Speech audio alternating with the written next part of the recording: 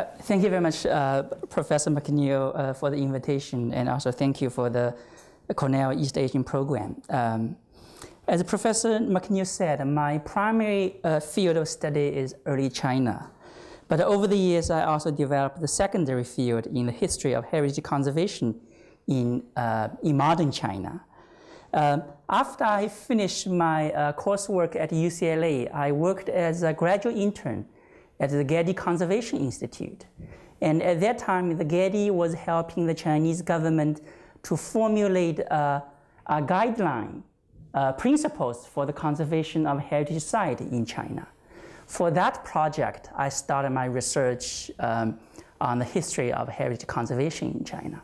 But uh, originally, I'm also interested in into dis disciplinary history, history of archaeology, history museum study, you know, these kind of things in, in China. So it's a very good um, uh, combination of these um, interests in, in the intellectual history of China to put them together. So I look at the heritage conservation. It's not the technical aspect. It's more the policy, the intellectual, aspect of heritage conservation. Three main questions for heritage conservation. So uh, what to preserve, how to preserve, or why to preserve. You know, these are three basic questions that in, heritage conservation were asked. And this theoretically was uh, guided by the uh, value-based analysis. Um, in art history, um, the, the Austrian art historian Riegl developed uh, John Ruskin, Ruskin's uh, concept of uh, voiceness into a systematic characterization of uh, different values of a monument. Had very important essays in 1908, The Modern Cult of Monument. So for example, historic value, artistic value, age value, commemorative value, use value, newness value, or social value, or even um, monetary value right? How, how expensive the, the you know the, um, the thing. So um, the talk um, I'll, talk today is um, uh, a part of a large project that I'm uh, working on right now. It's my second book project, and uh, um, so this is, is my primary uh, organization of my chapters, and my chapters is uh, chronologically um, built and also uh, thematically but uh, focus on the value. Um, so of, of course, um, in traditional China, China has a long history of uh, uh, antiquarianism, right? collecting things, collecting collectibles. But this didn't lead into um, national policy on preserve the material past. Only in the modern period, uh, basically the, uh, the um, new policy movement in the end of Qing dynasty, they start to formulate um, national policies on how to preserve things. So all these collectibles, old site, deserted uh, monuments began to connect with the idea of a new nation. It's, it's part of a, a modern nation building uh, process.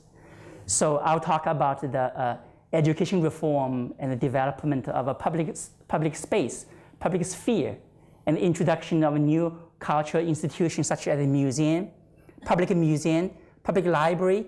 These kind of public institutions were introduced into China in the beginning, in the end of Qing dynasty, and the introduction of new social values. Uh, so at this time when Chinese government elite uh, officials looking back at Chinese history, they reevaluated Chinese history and, and um, came up with new values. So um, the next, I will talk about the, the Western exploitation of Chinese antiquity and the public awareness of, of cultural heritage um, from, um, from late Qing dynasty up to um, um, um the established People's Republic of China in, in 1949. Um, many of uh, Chinese objects, antiquities was, was smuggled or, or sometimes legitimately bought, purchased from China and now in, in the museum all over the world. So to react to, to react, the reaction to that um, um, um, removal of Chinese antiquities, the Chinese government uh, developed uh, laws measures per, to protect Chinese, Chinese uh, material past. And uh, the third chapter, I will talk about public ownership and the fate of the imperial property. Uh, and then uh, the next one is the, uh, from archaeological um, heritage. In 1930s, um, China, the, the, the, the, the nationalist government um, formulated the first um, national law on protecting uh, Chinese antiquities. And they, they state about the uh, um, public ownership, national ownership of Chinese antiquities. And introduced the, exactly the uh, scientific value uh, into Chinese uh, heritage conservation. And then, uh, you know, during Cultural Revolution, the destruction of, of cultural heritage, and um, after 1980s, the the economic reform, the open, open door again in China, and the, the uh, monetary value, the market value of Chinese heritage. And associated with that, the tomb robbery and um, you know, the um, um, protecting of archaeological heritage is a big issue in contemporary China. I came to Cornell, uh, Cornell also for the uh, purpose of use your um, rare books and manuscripts because in, in, in, in here, their collection of uh, um, Frederick McCormick's uh, family letter collection. McCormick is a journalist who went to China in the, uh, in the 1910s. And he reported, the, uh, this is his, uh, some of his book, he reported the, the, Sino, uh, the Russian-Japanese um, war in the beginning of, of 20th century and he is he's a China hand. He, uh, and some of his family paper is here. Uh, so uh, it was a very very fruitful um, trip for me to um, work on this. So today I will focus on the, the, the notion of national heritage. So what do we call uh, cultural heritage or national heritage? These, these kind of things uh, was already, um, there are Chinese terminologies to, uh, to re refer to this. For example, traditionally in the later imperial China, we called uh, probably antiques, right? And uh, guwan, curios, like especially in the Qing dynasty, in the Qianlong era, in the, in the 18th century, it began to develop um, domestic market of, of antiquity called, called guwan. And uh, there's another name, the guji, or Mingsheng Guji, in traditional Chinese local gazetteers. In many Chinese local gazetteers also, also have a section about the local famous place and um, historical site or monuments in that category. And uh, uh, also Shiji, historical monuments uh, by Japanese scholars. When in the end of Qing dynasty, Japan began the uh, modernization process and Japanese scholars also visited China and, and and uh, uh, survey the Chinese monuments. They used, use the words uh, historical monuments. And Gu, in 1930 law, the, you know, ancient relics, it's our translation, but actually the, the connotation, the, the, um, the scope of ancient relics, Gu, is much, much bigger. I will, I will talk about later. And after 1949, general in mainland China used the words uh, wenwu, uh, cultural cultural relics, uh, um, and also a historically or culturally famed city, 历史文化名城. And only in 1990s, 文化遗产 cultural heritage become popular in, uh, in Chinese um, writings. But although this, this uh, uh, terms came later, but this phenomenon started in the, the end of Qing dynasty. So I will go through um, basically, uh, you know, my talk, I will go through um, several major uh, legal documents on, on cultural heritage in modern China. The first one is a 1909 measure for the protection of ancient site, uh, 保存古迹推广办法章程. This is the earliest, first government document, government legislation that I can find uh, regarding cultural heritage. And then there's a couple uh, um, uh, in 1930. For example, 1961, provision measures for the protection of ancient, ancient relics, 保存古物暂行暂行办法. this law, particularly, was, um, was because um, Frederick McCormick wrote a letter to, um, to uh, Yuan Shikai, the president of Republic China, Republic China at that time, and urged the Chinese government to protect Chinese heritage. And I will, in my future research, I will do more uh, on this, this aspect. And another next most important one is the 1931 Law on the Protection of uh, Ancient Relics, 古物保存法. It's um, by the nationalist government, the, the Kuomintang uh, government. And this basic legal structure was preserved uh, uh, even after the communist um, government. Uh, so uh, the 1982, the law of the People's Republic of China on protection of cultural relics, 文物保护法, um, uh, and, and, and, and uh, the leader for, um, for um, that, that, take, that, that play a very important role in this, in formulating this law, and some of these um, um, articles in this law is, is Xia Nai, the, the famous Chinese archaeologist. Um, uh, because at that time already have economic reform. And some of the Chinese leaders want to uh, um, commercialize Chinese antiquity. And, and Xia Nai made all his effort to stop that. And uh, the, 19, the, the two, 2002 revision of the law is exactly undo the work Xia Nai did. So with the economic development, with the, the, the, uh, the opening of uh, many auction houses, and private, private museums. And this is the current situation in China right now. So that's the, you know, the basic um, range I will cover. Um, so first is the, the education reform and the introduction of a new cultural institution and uh, new social values.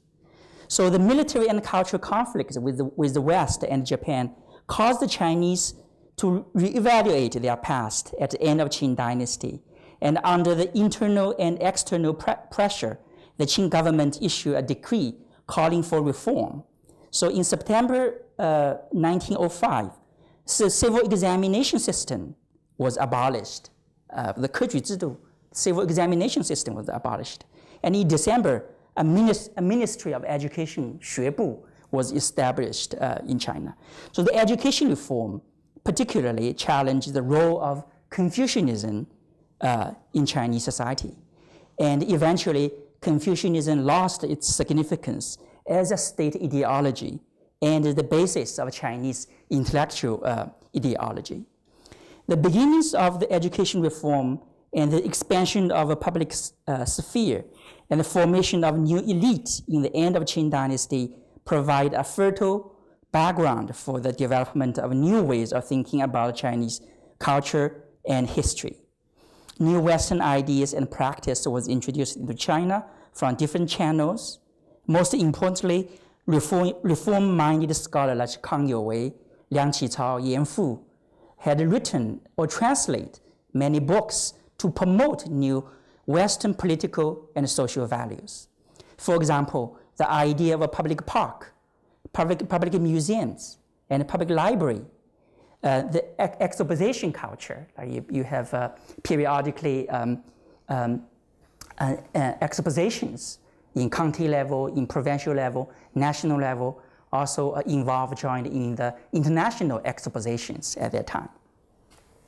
So this uh, new phenomenon was introduced to China during this period. And in order to wake, to awake the Chinese people education and the new social institution was uh, advocated. The Qing government dispatched um, um, uh, the imperial court officials to study foreign affairs in, in the West and Japan. In 1909, a high official, and he himself also art collector, Duan Fang, led a group of Qing officials tour the United States and, and, and Europe. On the route, he visited many museums, and up upon his return, he proposed to establish a, a public museum in China. Local officials, uh, such as Zhang, Zhang Jian or uh, local entrepreneurs, uh, um, also um, uh, proposed to set up institutions, institutions of exhibitions and combine the function of museum and, and library. The, the, the rise of public consciousness and the process of introduction new social value continued and pushed to new and sometimes more radical, more, more, more radical levels during the new cultural movement in 1910s and 1920s. So this is one aspect of you, you begin to have a new value system in Chinese, at least in Chinese elite, uh, or, you know, and, and the government. Next aspect is the um, Western exploration, exploitation of, of Chinese antiquity and the public awareness of cultural heritage. At the same time, the Western exploitation and removal of art objects from China had provoked the public and the government's attention to its cultural heritage. The well-known example is the um, Foreign Devils on the Silk Road, the cultural exploitation at Mogao grottos, Mogao caves at Dunhuang by Aurel Stein in 1907, and shortly thereafter by Paul Pelliot in 1909, which was one of the trigger for the 1909 um, um, uh, document, legal document Pelliot bought many, uh, purchased uh, uh, many Dunhuang manuscripts from the local uh, abbot uh, Wang Yuanlu, but uh, he shipped majority of his material back to Paris. But he also carried some, some samples to Beijing. He actually, he first visited Duanfang, then Duanfang introduced him to the scholars in Beijing, Luo Zhenyu and a group of scholars in Beijing. So, so uh, Pelliot made a small exhibition of his game in Beijing. That shocked Chinese scholars. Luo Zhenyu and other Chinese scholars uh, motivated to um, urge the, the new ministry, uh, Ministry of Education to urge the, um, uh, the governor of Gansu province to stop um, the, the looting and the, the selling of, uh, of uh, Dunhuang material and, uh, and um, take them to um, Beijing. it is interesting to note that when the Ministry of Education used the administrative order to instruct the governor of Gansu uh, to protect the Dunhuang material, the ownership of Dunhuang manuscript was still not very clear. The manuscript uh, uh, was eventually purchased from this Taoist abbot Wang Yuanlu at 300 liang of silver uh, at that time. And Wang Yuanlu was, was very unhappy because actually Pelliot paid him more. Pelliot paid him five, five, 500 liang of silver. Um, but most of the government funding was um, uh, embezzled in the process of, uh, uh, by the local officials. So that's the situation in China at that time caused the, um, the, the problem. So this um, uh, um, removal of Chinese Chinese um, antiquity from, from Chinese soil still continued until 1949. And here on, on, the, on the screen is Langdon Warner, the famous uh, American art historian and Harvard professor of East Asian art.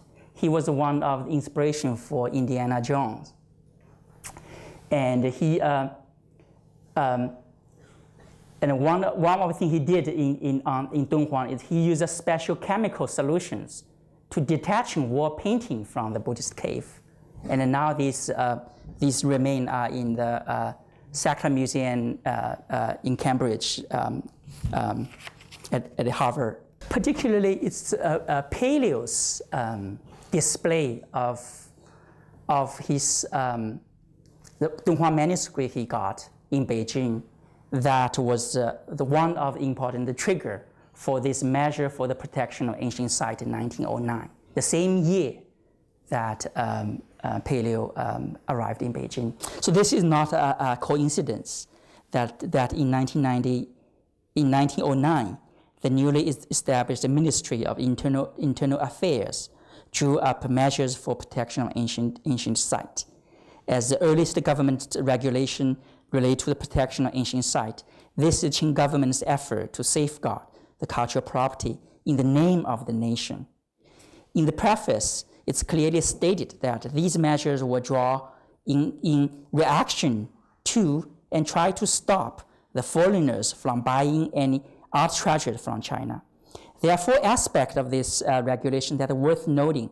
The first is uh, um, this, this, this regulation had a strong connection with the traditional practice of art collecting and gazetteer writing. So it's a connection with the old Chinese practice. Secondly, it went beyond the categories of sites and monuments that are often listed in local and national gazetteers and set up the framework for protection of secular, public monuments and art collections. In the traditional um, gazetteers, they often list uh, religious or um, um, more um, uh, monuments, temples related to local cults um, with religious uh, significance.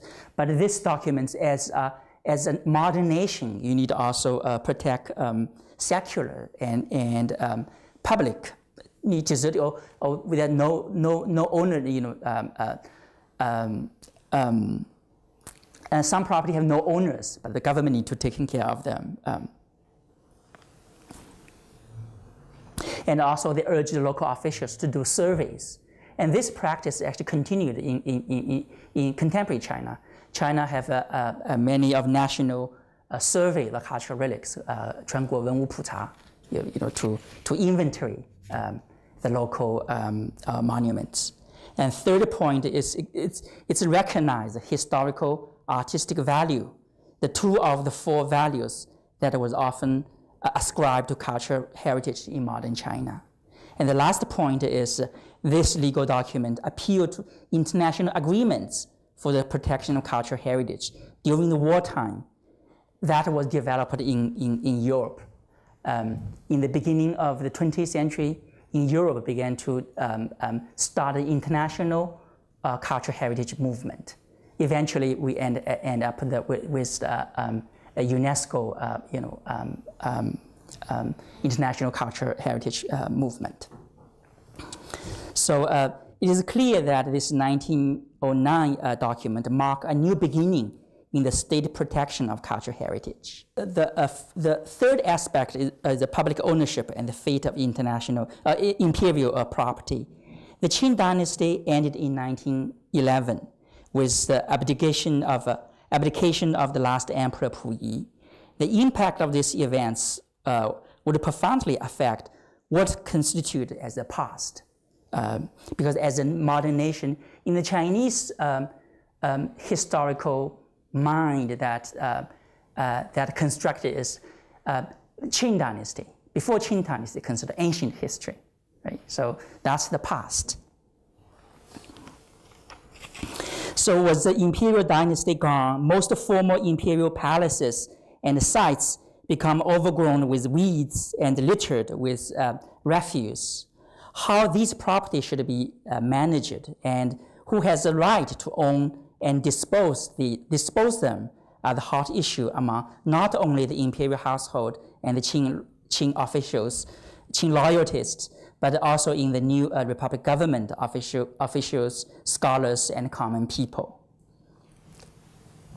The most appalling uh, incidents uh, were the warlord Sun, Sun Dianying uh, dug up the, the Qing imperial uh, Qianlong and Cixi's tomb in the eastern mausoleum near Zunhua, Hebei province in May, May 19, 1928. So many warlords dug up Chinese anti antiquities and sold in the inter international market to, um, to help them finance their military campaign. The situation is actually not much different from the you know, Taliban in, in Afghanistan, you know, now this kind of situation. So um, I, a couple years ago, I went to visit the, the site uh, where the, um, how they opened the, the, the uh, Cixi and Qianlong's, Qianlong's tomb. So to the eminent scholar Wang Guowei, who had become an ultra-conservative, the controversies and dispute over the palace's, palace treasures was more than just the issue of property right. At that time, in 1920, uh, Wang Guowei was assisting the, in the inventory of the palace treasures, defending the last emperor's property right against a group of Beijing, Beijing University professors. He argued that on historical ground, that the imperial collection were accumulated by the emperors themselves, and also on legal ground, uh, I quote, every object in the imperial palaces under all the laws, ancient or modern, Chinese or foreign, is the private property of the imperial family. Wang accused his Beijing, Beijing University colleagues not only uh, ignore their legal duty as a citizen of Republic of China, but also uh, ignore their uh, sacred duty as independent scholar and moral obligation as a human being. I quote, scholarship is certainly one of the highest enterprise of human race. But if without the support of moral and legal principles, it surely cannot stand alone. To protect, to protect ancient objects is only one goal of scholarship. But if, for the sake of preserving antiquities, one violates fundamental rights recognized in both laws and morality, both state and, both state and society will disintegrate. And where will, where will scholarship be, be then? One decidedly cut any relationship with, with Beijing University. To use the imperial uh, collection to, to shield, to, as a shield, uh, to protect the imperial family, Wang Guowei submitted a proposal to last Emperor Puyi in May, in May um, um, 1924 and suggests that a section of the Forbidden City should open as a museum of the imperial household. It's a model on the, on the Japanese practice, Japanese imperial household museum. I quote, to display the ancient objects and calligraphies and paintings from the imperial household, let all the people, Chinese and foreign, has, have the opportunity to appreciate them. Thus, the Forbidden City will turn into a gathering of Chinese culture. We also forge an important connection to the world culture. In case, of, in case there are military affairs in the capital, all the countries will have the responsibility to, to protect it. So Wang we very much want to use the, use the imperial collection as a shield to protect the, the, the, um, the uh, last emperor. But Wang Guowei's um, uh, suggestion certainly did not attract the attention of the young uh, last emperor. And five, five months later, the last emperor was expelled from the Forbidden City, and the palace treasures, except those was smuggled out by the last emperor, were inventoried and then become the buckle of uh, collection in the National Palace Museum. Uh, and the Palace Museum opened to the public in, uh, in, 19, in October 10th, 1925. And now majority of these uh, imperial collection is in the National Palace Museum uh, in, in, Taipei, um, uh, moved with the uh, nationalist government in 1949. So during the uh, Republic period, an important figure in the modernization of the Beijing city and the protection of its culture heritage was Zhu Qiqian. Zhu was familiar with the Western style municipal administration and attempted to apply what he learned in the West to, to modern transformation of, of the city of Beijing. In November uh, uh, 19, 1914, the Institute for Exhibition of Ancient Relics, Guwu Chenliesuo, uh, was established in front of the Forbidden City, open, to, open its gate to the public the institution set up to take over the imperial collection that was outside Beijing. For example, because the, the Qing imperial palaces uh, in Chengde, in Shenyang, also have treasures. So they took all these treasures from, from Shenyang and Chengde and established this, um, um, the Institute for, for the Exhibition of, of, of Ancient Relics. This is the earliest um, um government-sponsored museum in, in, in China. And the opening of this public museum have a great impact in the development of Chinese art because um, time, only at that time, ordinary you know, art student can just buy a ticket and go to this institute to view these all ancient, ancient uh, Chinese uh, masterpieces. Because otherwise, they are in the imperial collection, no one can access. So uh, this is a, a, a picture, um, a Chinese um, painting by a, very famous uh, um, Chinese painter and also art historian, Chen, Chen Shizeng. Uh, the elder brother of Chen Yinque, and a viewing painting in an exhibition in 19, 1917. So, um, so this is the uh, so so this is the um, um, uh, between the end of Qing Dynasty and the Warlord period. Um, now I'm talking about the, the, uh, the fourth aspect, the nationalism and the scientific value of archaeological heritage. The development of art market in the West and Japan for Chinese antiquities in the 19th century took a terrible toll on Chinese archaeological heritage. In addition, I, as I mentioned, local warlord and tomb robber, encouraged by lucrative foreign market, conduct clandestine excavations. After returning, after returning um, um, uh, China, uh, after un unification of China uh, and moved the capital from Beijing to Nanjing in 1927, the nationalist government led by uh, Chiang Kai-shek started a vehement nation, nation building campaign.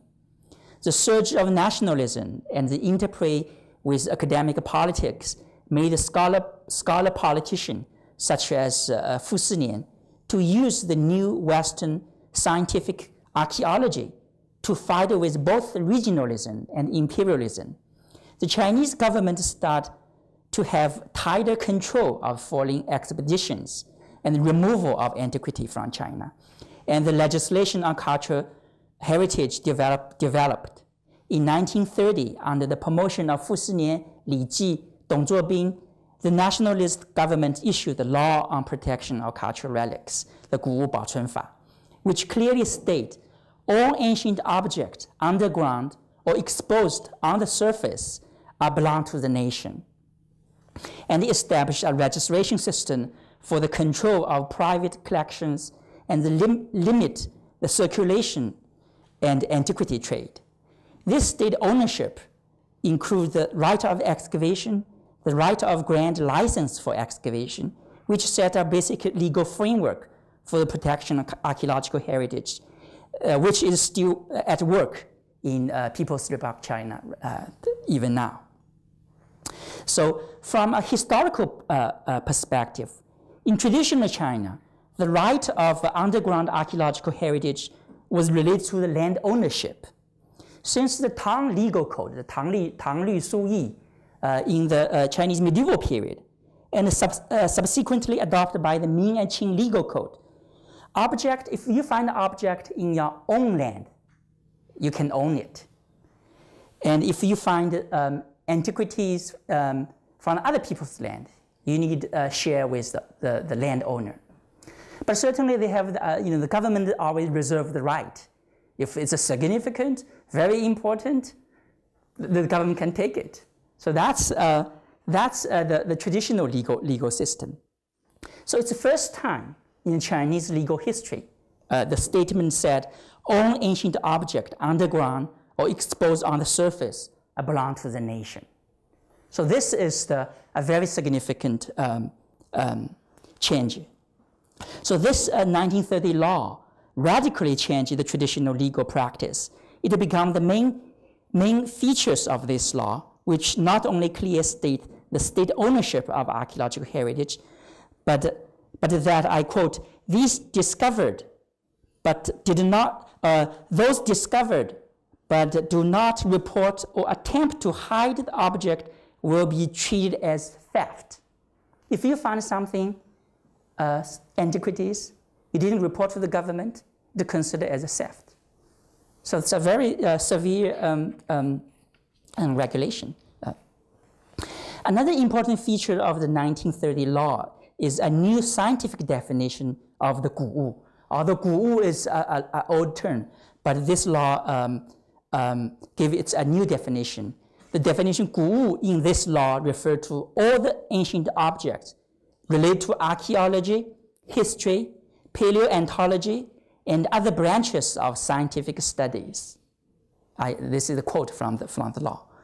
So one of the significance of the 1930 laws uh, connect the object of the past directly to modern disciplines introduced from the West.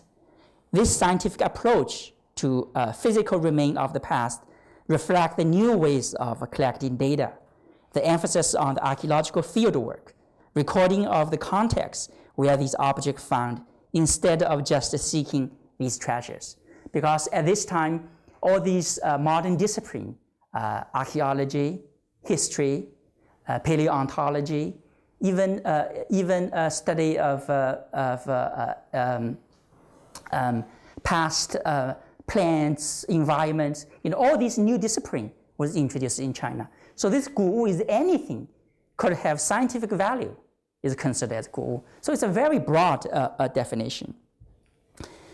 So the, the background of the 1930 law on the protection of ancient relics is the Anyang excavation that the newly established Institute of History and Philology of the Academia Sinica conducted in, at Anyang, Henan province, the last capital of the uh, Shang dynasty. Um, under the leadership of Fu Sinian and Li Ji, this ex excavation in the beginning was an international cooperation with the Freer Gallery in, um, in Washington, D.C. But the excavation was interrupted several times by the local, um, local wars, local, local, local events. So because the local officials also want to stop, they, they claim the national government does not have the right to own these Anyang excavate uh, treasures. The local government should, should want to, want to uh, have them. So Fu Sinian immediately began to look for ways to settle the, settle the dis dispute through political and legal channels. He campaigned for the national legislation on archaeological heritage. The result is this uh, 1930 law on protection of ancient, ancient relics. On the international level, the issue of ownership to archaeological heritage is also an incentive for the, for the uh, agreement and dispute. Um, although it's not explicitly stated, the Freer Gallery's goal for archaeological excavation in China was certainly to get new data and possibly get a new object from this secured archaeological context. So uh, um, as associate curator of the Freer from 19, 1922 to 1934, Carl Bishop led several archaeological uh, exhibition in, in, expedition in China. And early, early, in last, early in 1920s, Bishop invited Li Ji, who had just returned from Harvard after a PhD degree in anthropology, to participate in archaeological cooperation. But Li Ji was sensitive to the issue of Western exploitation of Chinese cultural relics. He asked about Bishop about, about the uh, ownership of artifacts excavated in, in China. Bishop assured Li Ji that, I quote, you would not be asked to do anything which you might feel incompatible with your uh, allegiance to the Republic of China. So uh, a bishop uh, made, a, made a secret deal. Um, you know, Li Ji, I can work with you, but you don't need to worry about um, um, taking object from China. I will do the job. But uh, Li Ji was satisfied with the answer in the beginning, though he did not miss the vagueness in Bishop's uh, response. As the rise of national, national sentiment in China, the possibility for, uh, for, for benefiting anything from the cooperation uh, diminished. So the Freer Gallery uh, withdraw from the Anyang excavation in 1930 when the law was, um, was established. And um, this is um, uh, in the free in the paper, Carl Bishop paper in Freer and Sackler uh, um, gallery. Um, here I find a very interesting note by Langdon Warner. So this is the this uh, a, a, a note Langdon Warner uh, gave to Bishop. Said he just arrived uh, at Beijing and uh, I've just turned up and hope, I look forward to uh, hear, look forward to see you, right? And have all the gossips. so, uh, so um, uh, Langdon Warner and uh, uh, Carl Bishop is, is a group of, of American um, archaeology in China um, um, try to um, um, take removal, remove uh, Chinese object from, from, from China.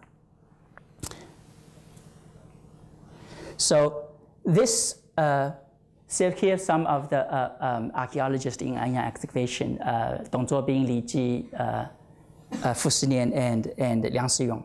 They all train, uh, except Dong Zuobin, they all trained in West and brought all the Western um, archaeology, um, um, scientific new knowledge into China and, and used as, as a weapon, as a tool to against um, imperialism and also regionalism. So uh, under this law, um, uh, Liang Sicheng and, and, and his wife Lin Huiyin in the 1930s, they started the, um, the, archaeology, uh, the, the uh, study of Chinese, um, history of Chinese architecture um, in China. It's a part of the heritage uh, conservation. So although sharing uh, different political ideologies with the nationalist government, the communist government um, adopt this basic system set up in 1930 law on the protection of cultural, cultural relics. The current, current legal framework is basically the elaboration uh, on this early system. The legal framework is, is quite uh, uh, defensive. Uh, it's emphasized the state ownership. Um, and it stretched the, the ownership and the control and the, the uh, and, and less clear about uh, management. So in, 19, in, 19, in 1991, so uh, after 1949, all archaeological uh, cooperation with, with outsider, with, with foreigner was stopped. Only in 1991, uh, the revision of the, uh, the regulation for foreign participation in archaeological work in China, they began to change. So uh, after 1991, um, Western uh, scholars affiliated with uh, uh, academic institutions can participate in Chinese excavation in China. And in 1909, nine, in 2002, revised the law of People, of People of China of protection of cultural, cultural relics. So this is the basic, um, basic um, structure, the talk I want to talk, the rise of national heritage uh, in, in modern China. And uh, from 1909, um, the Qing government, and also particularly 1930, this um, law on the protection culture, culture uh, ancient, ancient uh, relics. Um, it's a very, it's, it's a part of the international movement. Um, the international, because of Western um, exploitation of archaeological heritage, I think starting from uh, Egypt, Egypt, Middle East, and China in East Asia is the end of that process. Some scholar called antiquity rush for, for Western, Western uh, museums and uh, universities uh, competing to um, excavate in Egypt, in, in Near East, in Central Asia, and, and in China. And all these local uh, local countries, local government, began to formulate um, legislations to protect the, their cultural heritage. And the Chinese, the Chinese process is part of that international uh, process. But there's uh, also a consequence for this, uh, um, many of the problems in this 1930 law, with, especially with the uh, economic uh, development in, in China. So uh, the following is, um, is, is, I'll just uh, introduce some, some new current problems uh, of this law. Um, so I, I, my title is The Contradictions in Contemporary China, Economic Development and the Market Value of Cultural Heritage. So with, uh, with the economic development in China, um, um, the, the flourish of, uh, of antique market within China and internationally. So Chinese archaeological material was, um, was um, um, um severely damaged in the, in the recent uh, decades. So um, I came from Zhejiang province. So When I go back to China summer, sometime I tour the, uh, the, the, nearby uh, uh, um, counties or you know, place, cities, see what kind of new archaeological things uh, were excavated. So uh, here is a, a, a Shaoxing Yue Culture Museum in Shaoxing, Zhejiang province. This is one of these uh, new phenomena in China now, private museum. And the museum was, I asked around, and, and the museum was owned by, owned by a local collector. Um, and he turned out to be the uh, deputy director of the local security bureau in, in Shaoxing. Because according to current Chinese law, everything underground or, or exposed to the surface belong to the nation, except your family, your family um, uh, heirloom that from antiques that you, you, you, you inherit from your, your ancestors. You cannot own any, ob uh, any uh, archaeological object because it's, uh, it's a belong to the nation. And in this uh, museum, everything in this museum is uh, it's newly um, excavated. So this is the contradiction of law. And there's another case. There's local, local collector who collect many of these similar, similar uh, um, uh, antiques. And he want to, I think probably he also heard, heard um, you know, the police is looking for him. And he want to donate his collection to the local museum. So is he a criminal? Should he be prosecuted? Or he is someone who, uh, who uh, find uh, antiques and want to donate to the government and you should um, should, should award him for his, you know, it's a nice deed. So this is a contradiction in Chinese uh, legal system right now. It's only, only one, one small point. I think this is the aspect in, because the 1930 law is too broad. Everything, everything underground exposed to, uh, in the surface belong to the nation and anything have scientific value belong to the belong to the nation. So it's in many cases this law cannot be um, uh, efficiently uh, enforced. So this is the contradiction in, in Chinese legal system uh, right now. How to work this out? Um, no one really have have a clear idea, and this is a, is a broad issue of the Chinese the Chinese system uh, right now. So I want to also uh, bring up another issue about the, um, um, you know, in the beginning I said because of the, the uh, el elimination of the uh, education system, or the elimination of civil examination system, so Confucianism no longer being, being, being um, state ideology uh, or the basis for in, in, in, uh, uh, intellectual ideology. So you know, we know all know uh, Lu Xun and Hu Shi, all these uh, May Fourth intellectuals. Their, their attitude towards the Chinese tradition or Confucianism are very negative, or, or you know, they use a scientific attitude to, um, to study. So you need sort them out. Some are good, some are not good. So this kind of attitude was dominant the Chinese um, I think, state ideology and intellectual uh, ideology in the, in the last century. A couple years ago, there's a huge statue um, of uh, Confucius was, was, was, was put up in front of the, the National Museum in Tiananmen Square. And you know, some people say it's, uh, it's just, uh, you know, some some some someone's uh, own idea, like some group's own idea to put a Confucius statue in Tiananmen Square. But all you all know, Tiananmen Square is uh, is is not a place you can do anything, right?